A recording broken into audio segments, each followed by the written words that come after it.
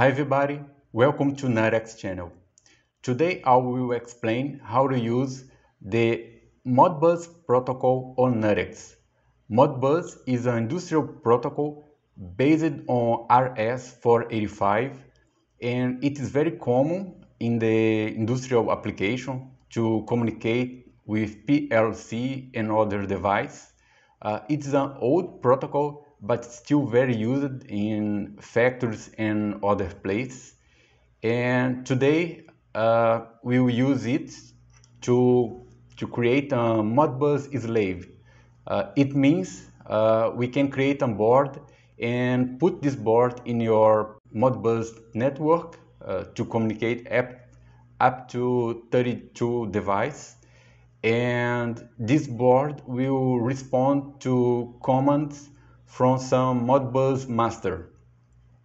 Uh, as you know, the, the board we are using, the STM32F4 Discover board, doesn't have the Modbus transceiver. You will need a transceiver similar to this one. You can find it in many places, even in the AliExpress. Uh, it is this small device. It is based on MAX 485 and it is low cost. Uh, also, to, to test the communication, you need uh, USB to RS485 module like this one is also low cost and you plug in your USB computer and it will send it will submit commands to your board and your board will respond to those commands Okay, so let's get started. Open the Linux terminal, enter inside NuttX space, NuttX, execute make distclean to clear our previous configuration. Now we can uh, configure the existing Modbus uh, slave board profile. We can execute tools configure.sh stm32f4 discover modbus slave right uh, now our board is configured, is enabled to use the, the Modbus and I will show all options I selected on this profile. So just to, to let you know, execute make, menu config.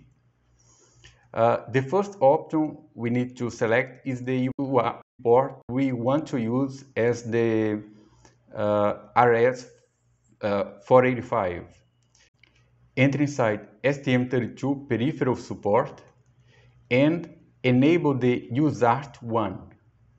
Let's find it here. Yeah, this one.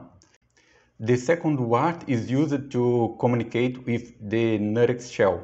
So we need to enable the user, USART one and we need to define this port will be used for RS485 we can enter inside uh, USART configuration and select the option RS485 on USART1 and keep the pin polarity as 1. Okay, we can exit,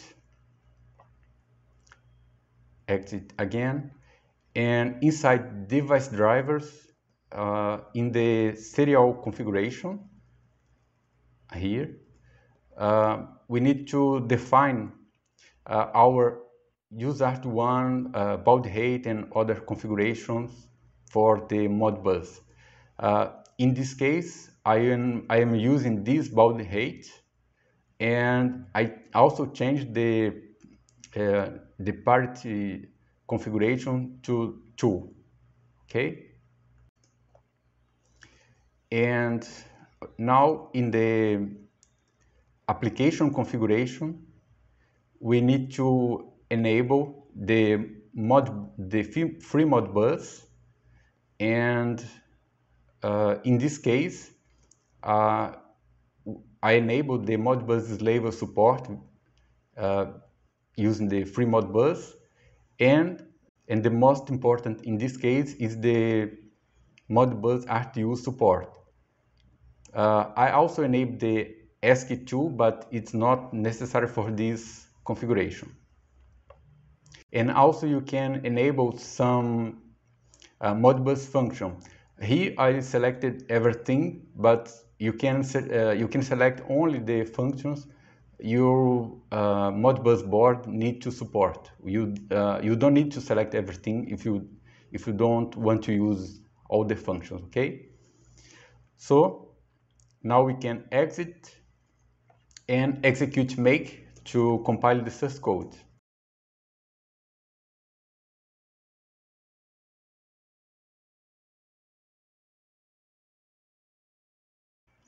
Okay, our compilation finished correctly.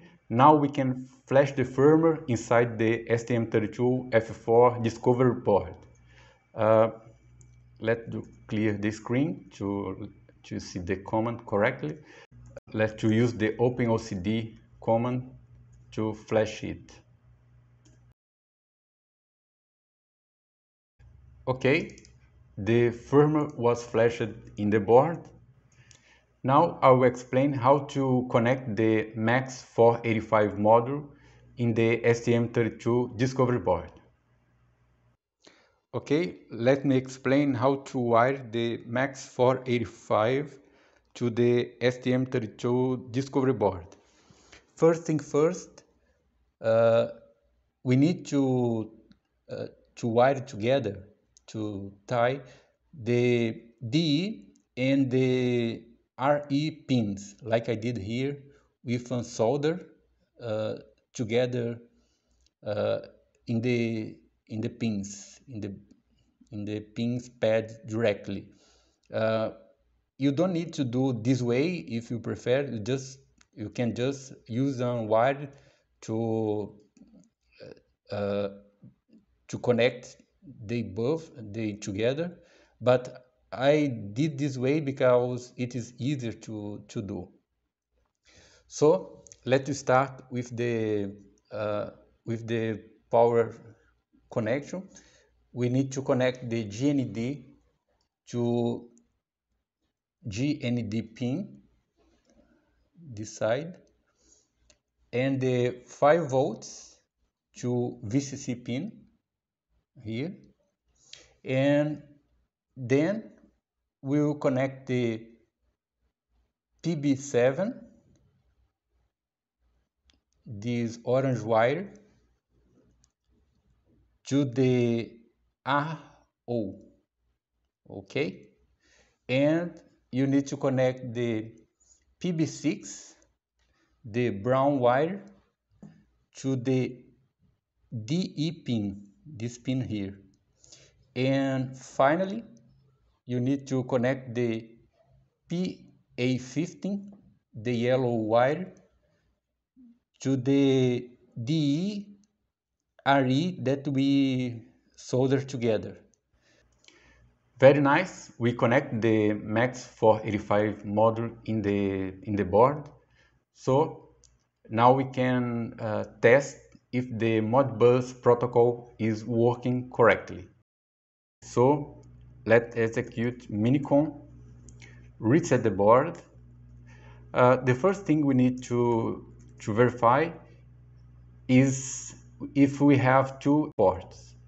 Okay, you have TTY S0 and TTY um, S1. Let's see if the Modbus command is here. Okay, it is here. If I run Modbus dash 8 to help. Um, I know I, I need to execute the modbus uh, dash E to keep it running. Right, now it's time to, uh, to run the, uh, the mbpoll in the computer using the, uh, the USB uh, to RS485 we have here.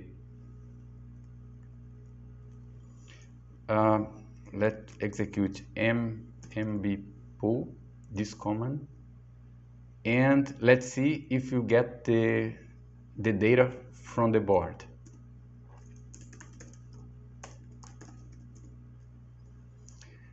Very nice. It is returning the randomic numbers from the board.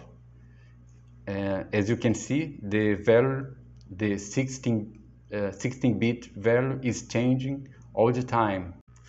That is it. In the next video, I will explain how to use the Modbus master to communicate with some external Modbus uh, slave device.